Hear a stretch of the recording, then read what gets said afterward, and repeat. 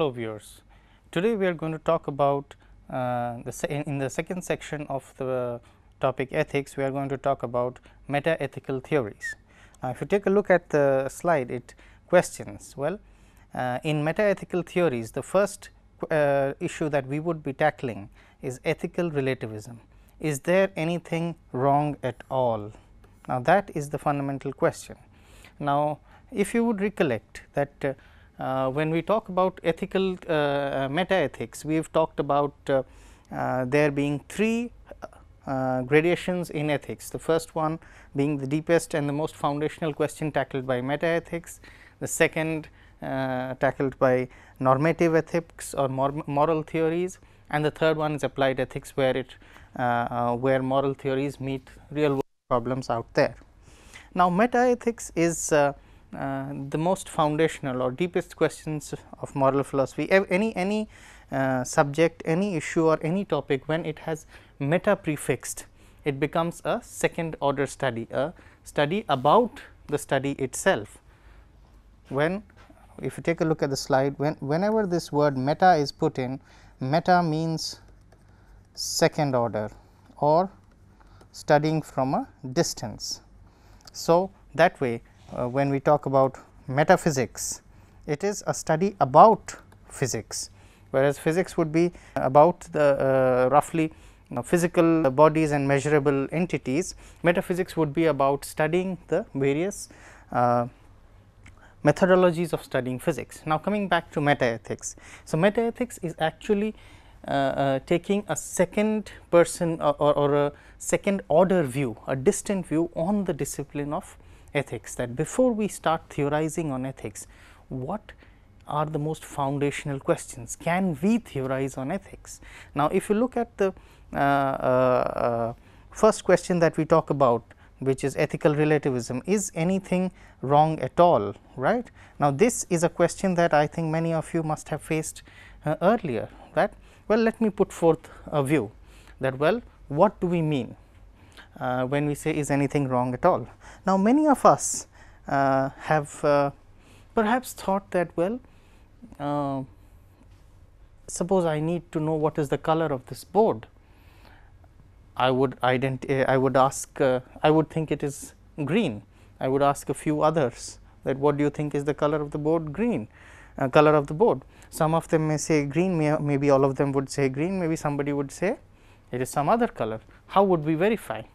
We would verify then well by a scientific instrument that would measure the uh, frequency and wavelength of the light waves bouncing back from this board and that would be an uh, undeniable proof that well the board is of so and so color. Now, what does this question signify or what does this example signify? The example signifies that well there can be an objective answer to the question what is the color of this board. But in the same strain do we wonder can there be an objective answer to what is the right thing to do that there is something called right and wrong. Now, say uh, uh, most of us would feel perhaps or would opine that uh, uh unprovoked violence is wrong now, uh, let us compare it with the same board example. Now, in the board if we say well two types of proposition we take.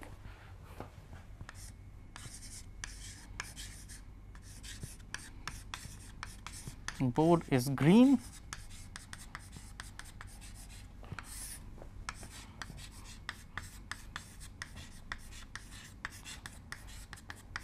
unprovoked violence is wrong or bad. Now, let us say these are two kinds of propositions that we have taken right. Well, the board is green and unprovoked violence is bad or wrong. We saw in this example well first is ask others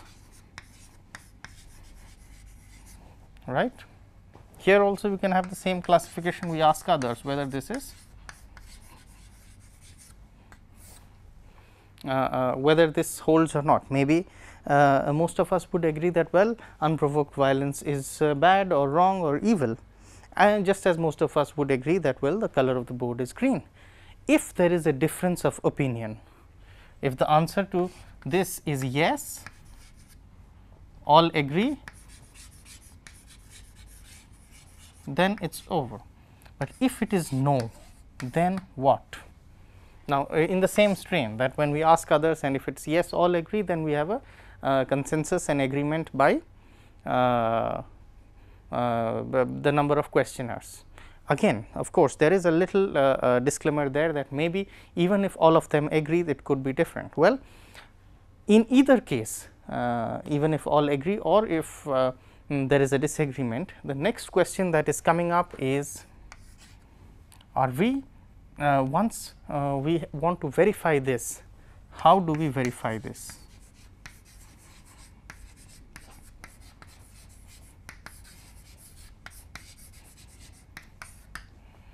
Well, for this question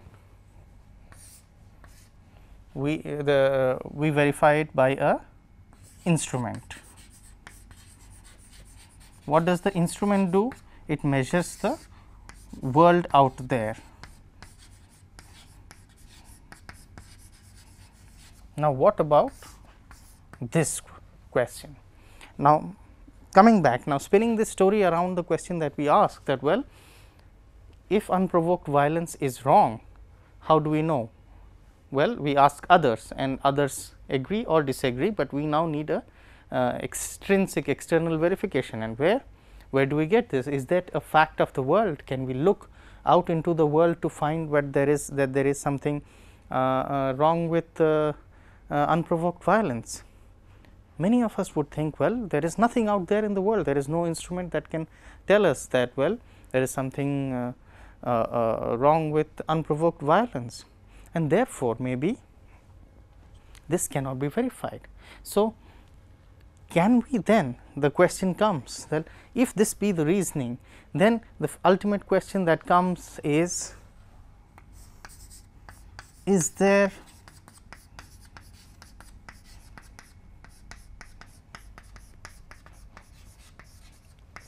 anything wrong at all? This comes out to be the fundamental question that we are going to um, tackle now in this session, because this is a meta ethical question when it asks that is there anything wrong at all. Now, coming back to the uh, presentation. Now, when we ask the question that is anything wrong at all, we are asking a second order question. Now, what is uh, meta ethics? Well, um, it, it involves a lot of question marks and a lot of thinking, because it goes into the foundations of the mo of uh, moral theorizing or ethical theorizing. Now, uh, can moral claims be true or false? What is the source or justification of moral claims? Right? If we find a justification of moral claims, what is the source? How do you justify moral claims? Does moral philosophy rest on a mistake? Interestingly, a very seminal paper in ethics was also written by the same name that does moral philosophy rest on a mistake? That is, are there reasons to progress with moral philosophy? How is our social psychological build determining our ethical worldview? Well, now if you do a lot of thinking that where what is the foundation um, of the ethical quest or ethical theorizing. Now, can moral claims be true or false? These are the questions that are raised by metaethics. Uh, if, if the claims are true or false, what how do we justify the claims? Is there any, any justification for progressing with moral philosophy? Well, how is our socio psychological build determining our ethical worldview? That is, is it that how the way we are uh, brought up, the way uh, we are the experiences that we are exposed to determine our ethical worldview. So, these are the questions that meta ethics tackles. Well, the first question we talked about that well uh, is the ethical relativism right. Now, there is a founda this is a foundational meta ethical question that we face before philosophizing on morality. The, now, pay attention this is the claim of uh, Uh, ethical relativism. The claim of ethical relativism may be put forth as that there are various moral systems or frames of references frames of reference and that there can be no hierarchy made between the various frames of reference that there can be no transperspectival ethical system. Every ethical system develops in its own environment and is applicable to its own environment only. Okay. Now, let us look at this uh, uh, question that we are tackling that well like many of us would perhaps think that well uh, it, it is a common uh, uh, term today to say that well I am non judgmental right that I do not make any judgments that ethical relativism is being non judgmental that is a crucial uh, term that we might need to be aware of that what do I say when I say uh, what do I mean when I say that I am non judgmental as an ethicist or in my ethical perspective. Now, when I say when uh, perhaps when I when somebody says that he or she is non judgmental what she or he probably and more accurately means is that that person does not see that one uh, uh, person can judge the moral claims of another person. That means, uh, my moral claims are my moral claims and your moral claims are your moral claims and there is no way I can judge yours or you can judge mine because we belong to different domains. It is the same it is a powerful uh, argument uh, which uh, relativists in various domain give relativists in general and ethical relativists in particular. Well, the phrase like you can't compare apple with oranges because they are simply two different kinds of fruits. To compare any uh, two claims or entities there has to be a common factor. You cannot compare uh, uh, the relativist claim as well. You cannot compare an apple with an orange because they are different fruits, but well you can compare an apple with an orange if you are uh, uh, uh, exploring from the dimension of sweetness you are exploring from the dimension of weight, you are exploring from the dimension of aesthetic appeal. That could of course, be a little questionable initially, but we leave uh, uh, that question now for it is out of the purview of our inquiry in this uh, course. But if apples and oranges can be compared with respect to their sweetness, can moral claims be compared? Now, the ethical relativist says that well there are various moral frames of reference right and there is no way we can compare one frame of reference uh, with the other. Now, that would mean that well uh, if I have arrived at a moral frame of reference from whatever be the causes be it my socialization, my religion, my culture A and somebody else has come up with another moral frame of reference B, the two cannot uh, judge upon each other, each is right from his own perspective. Now, such a claim seems very uh, plural, very fashionable, very tolerant, very uh, acceptable, very uh, polished, very sophisticated, very uh, open and uh, very cosmopolitan. But let us explore this claim to find out that well if this is really the case uh, so, let us let us uh, uh, clearly look at the slide now that what exactly is the claim. Now, as philosophers we would like to first define what is the problem. So, what we need to remember is this crucial way that there are various moral systems or frames of reference and that there can be no hierarchy made between the various frames of reference. Now, notice what this is not denying. Now, it is saying that well if I say that there are no moral values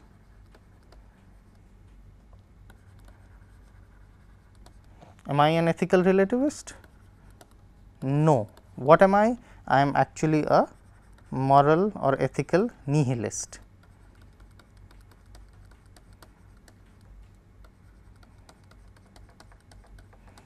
Now, what the ethical relativist, we will refer to it shortly as uh, in abbreviation as ER. What the e ethical relativists claim is that there are right, there is right and wrong, right and uh, these right and wrong are not depend on their frames of references and there can be no transperspectival ethical system for the same.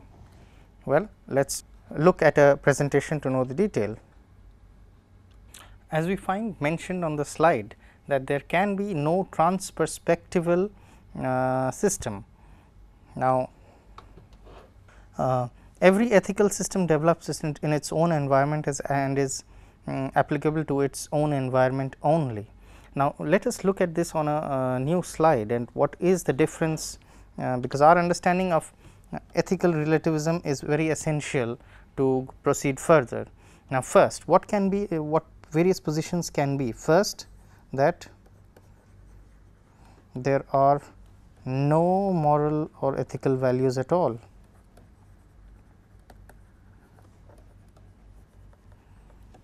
right. Now, this could be that well they are figments of imagination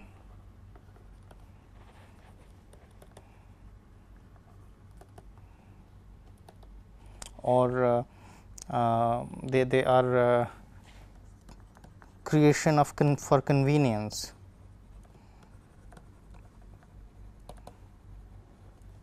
Now, in either case uh, if they are fragments of imagination and we uh, downright hold that there are no moral uh, or ethical values that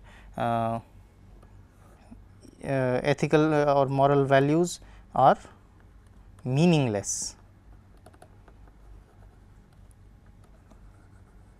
Then we are an ethical nihilist or moral nihilist that is denying the very existence of morality. Whereas, these two domains are uh, claiming that uh, uh, moral values are Uh, fiction fictitious, but meaningful fictitious. We could see that there are certain strains of ethical theories such as emotivists, which uh, subscribe to this kind of a uh, theory, but if you if one claims that ethical values are meaningless then we are strictly an ethical nihilist. Now,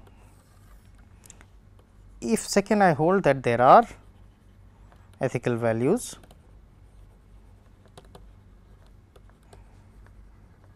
And or but they originate and depend only on their uh, frames of reference.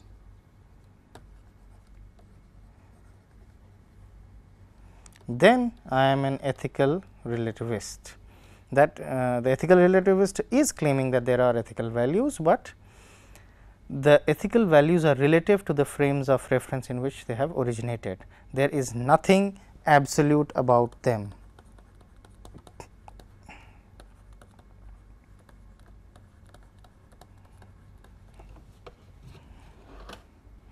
Now, if there is nothing absolute what it means that well every Uh, ethical value is from its perspective from a perspective. No transperspectival value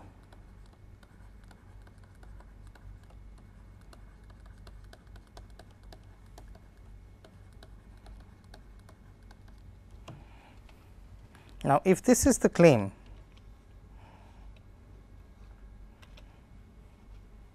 that there are no transperspectival values, then well uh, we are strictly an ethical relativist. Now, we need to be clear or uh, why we are focusing on this uh, um, fact is that well our understanding of ethical relativism needs to be very sharp distinguished from uh, various other strains possible. Now, the ethical relativist agrees that there are moral values only says that these values come from uh, a frame of reference and there is no way of comparing uh, moral values from different frames of reference. Now, if this be the case, what is uh, uh, the situation, right? Now, uh, let us let us first look at uh, uh, evaluate oneself whether you belong to the first category or the second category or none. Take a, please take a look at the slide. Now, uh, the first category would claim that there are no moral values that everything is subjective imagination then uh, you are an ethical nihilist. The second is an ethical relativist which says that well uh, you are mm, you believe in ethical values, but these values are depend on their frames of reference. The third can be an uh, absolute frame of reference.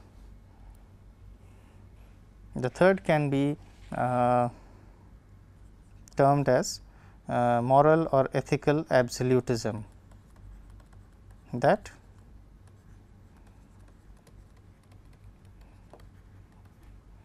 there is a transperspectival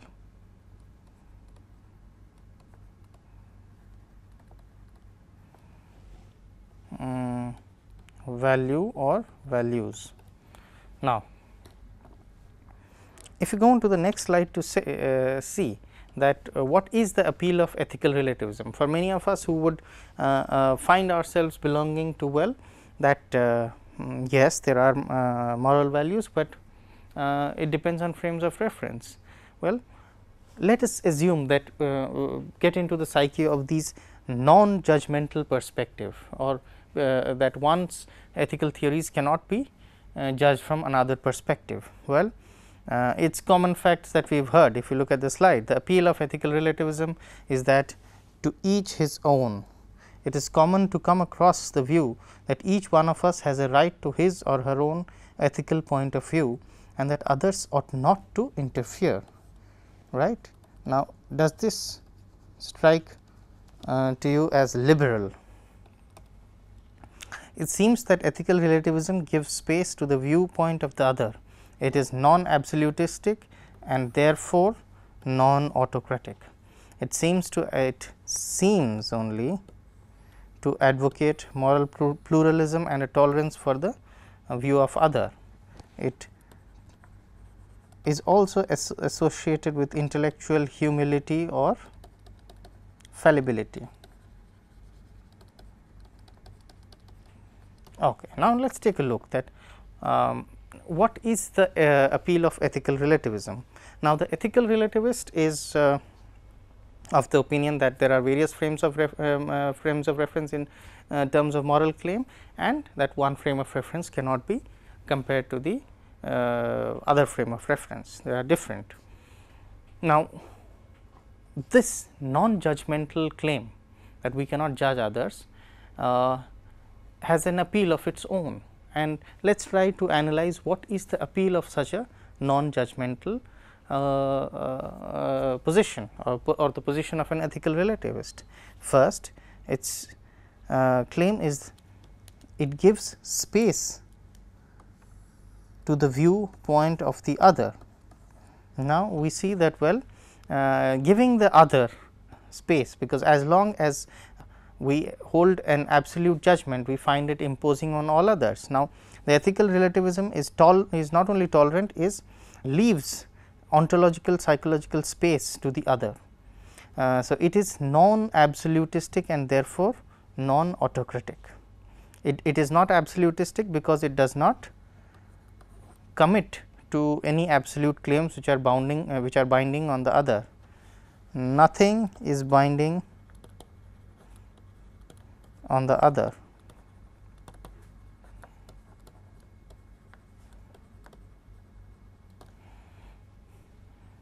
Now, it seems to advocate moral pluralism and a tolerance for the view of the other.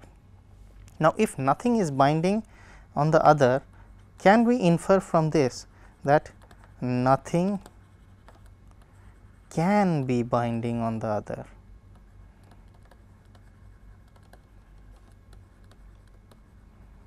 Now, this is a crucial jump which perhaps uh, nothing is binding to nothing can be binding. This is perhaps the crucial jump that the ethical relativist takes. Well, if nothing is binding on the other, is it also the uh, position that nothing can be binding on the other? Right? Think over this, this distinction and we will talk about it in the coming slides. Now, our claim is that well is the appeal of uh, ethical relativism misplaced.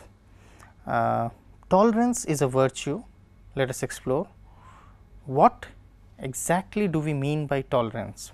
When x or any person tolerates y, a claim or an act, uh, let y stand for a claim or an act. So, when x tolerates y, is not x already making a judgment upon y?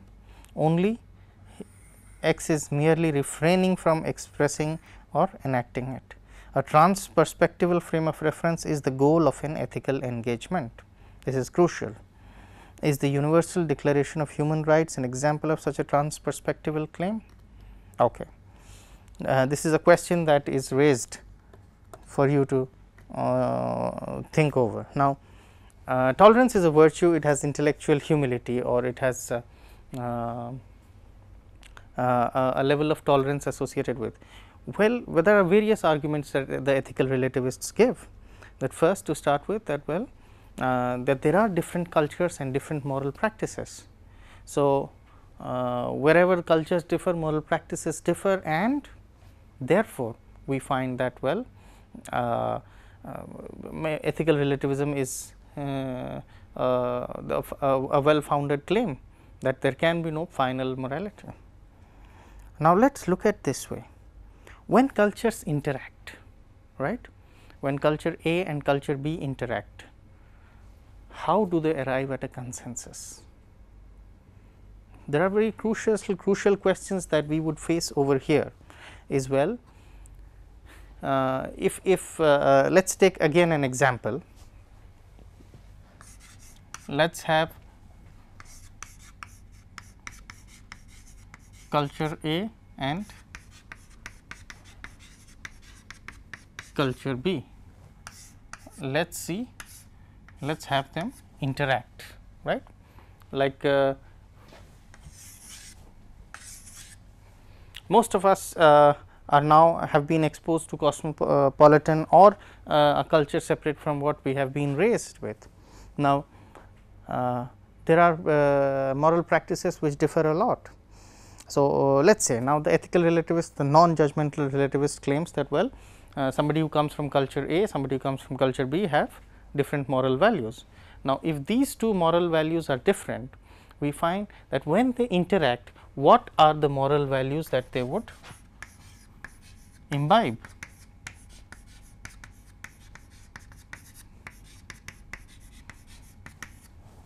Now, look at it this way. Now, if A and B are interacting, let us imagine uh, A as an individual uh, uh, and, an interesting and uh, a very relatable choice is say A is an individual gets married to B as an individual, right? They get married.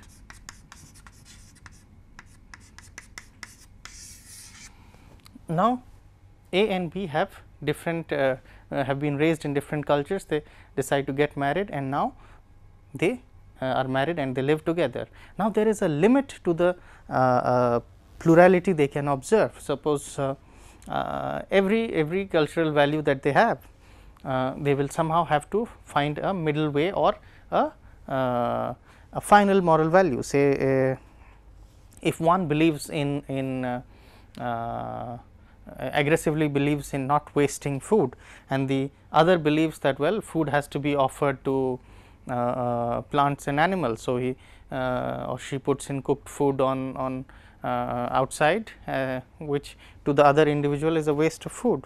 Now, this is strictly an example where two practices are clashing and there can be only one resolution because we share one final space. So, here how do we arrive at a uh, practice, how do we arrive at a conclusion at a final practice. Now, this is a dilemma that the ethical relativist faces that well uh, we are very happy that A and B are married, but after that what is the final moral values or cultural values that will come along.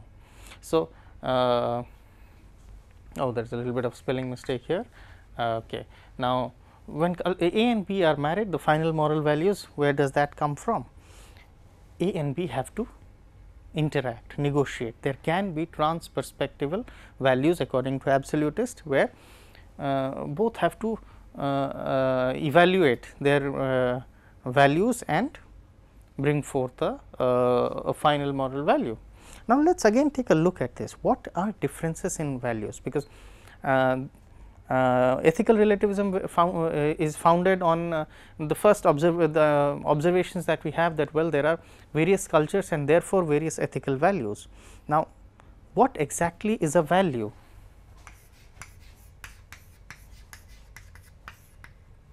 Clarity in these uh, uh, concepts is necessary to progress further. Now, if somebody believes let me let me give an example that well, uh, why do we hold an, uh, an entrance examination or a test for recruitment or for admission into a uh, coveted college or course? We hold a test because it uh, gives us uh, a, a, hierarchy of uh, capable students and the students the, the top lot for which the student the college or the course has vacancy are invited to join. Now, we find this fair right fairness as a value examination process as a uh, practice. Now, this practice uh, uh, has its core value as fairness or justice that well depending on the performance of the um, entrance uh, examination procedure you would be invited for an interview fair enough. Now, let us look at it this way let us go flashback 1000 years back into uh, uh, India's past. Now, there again now there was this Gurukul system in which admission was open only to the Brahmins. Now, if that uh, caste based admission does it seem to be fair? It is uh, again that is an entrance uh, that is an examination procedure that is a practice does it seem to be fair? Now, these are two different practices both targeting fairness. Today, we find it uh, uh, uh, unfair, but let us try to reason how perhaps people then reasoned. Let us say that the people assumed or believed um, unquestioningly that there was there were uh, lives and afterlives and birth and death and uh, beyond that there were lives. So, what uh, where and how you are born depends on the um, accumulate of uh, your karmic uh, uh, desert that you have accumulated over the past life. So, if you are born into a, a, a, a, clan or a caste that is entitled to education that is not an accident, but because it is your desert from your past lives. Now, look at the fairness brigade. Now, we find this practice unfair today because we believe that uh, birth is a matter of accident. But if we believe that birth is a, a result of your cumulative uh, uh, achievements of your past lives, then this uh, uh procedure, this, this custom of entrance uh, via clan or caste again becomes fair. So, notice that there is a practice right, but the core of which is a value. Let us even uh, uh, think of simpler examples. Uh, in the oriental tradition, one would uh, uh, bow down to one's elders to express respect. In uh, occidental traditions, one would shake hands to greet even a, an elder. Now, these are two different practices, both of them uh, may appear uh, uh, contradictory at the superficial level, but within them they embody the same value.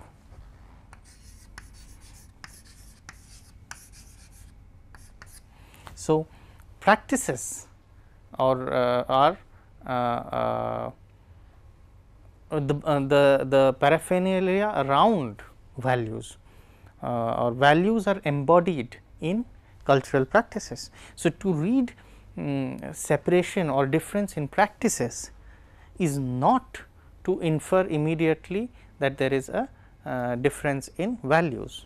So, let us take a uh, let us let us note down this crucial point that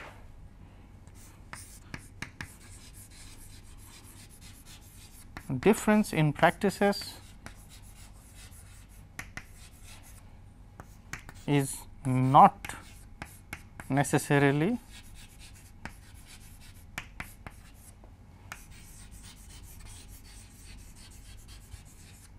difference in values.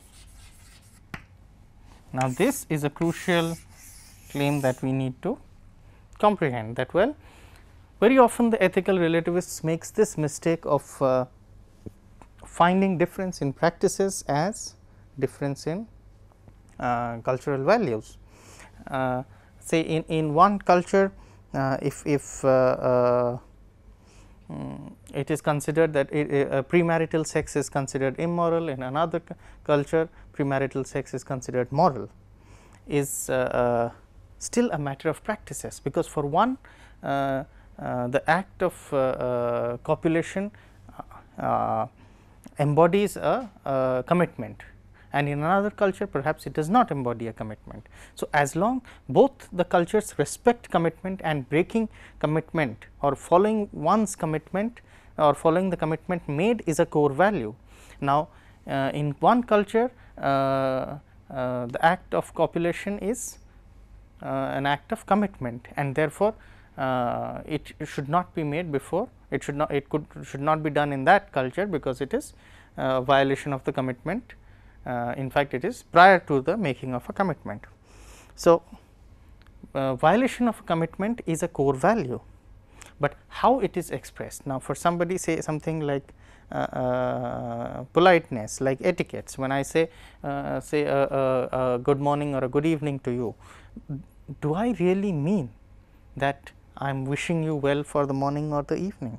Now, this uh, in some culture is uh, or in most of the cultures that we are used to today is fine etiquettes, but uh, if analyzed or looked at from a culture which holds truth as uh, a final value is well and is, is a denial of uh, the connect between uh, a claim and its intention. Okay, now let us let us simplify this. So, differences in practices difference in practices is not necessarily difference in values. So, uh, practices embody core uh, uh, the core of practices are values or practices embody values values are the uh, crux of practices differences in practices does not mean differences in uh, does not necessarily mean difference in values. So, now when we talked about this uh, couple who got married now, they may have difference in uh, cultural practices, but they may uh, that necessarily does not mean that they have difference in values. Now, after having said all this we can still hold that there can be a difference in uh, moral or core values also that uh, do all of us find justice as desirable. How we interpret or analyze justice there may be variance. Do all of us find fairness as better than unfairness, whatever our uh, definition of fairness be? Uh, do all of us find making and sticking to commitment um, better than uh, making and uh, breaking commitments? Now, these are fundamental values. Now, if there is a difference in these values, what, what does it signify? Very often now if you look at the slide when I say that well the ethical relativist is a tolerant person. Now, what are we meaning when says that the ethical relativist is tolerant? Because when the ethical relativist is actually tolerating. So, this uh, mm, credit that the ethical relativist is given that well uh, the ethical relativist is tolerant is actually not uh, justified, because even the act of tolerance implies that uh, a judgment is already being made and only that the judgment is uh, not expressed or enacted. So, The ethical uh, relativist where crucially uh, disagrees with the absolutist is that a trans-perspectival frame of reference is the goal of an ethical engagement. Now, the ethical relativist believes that this trans perspectival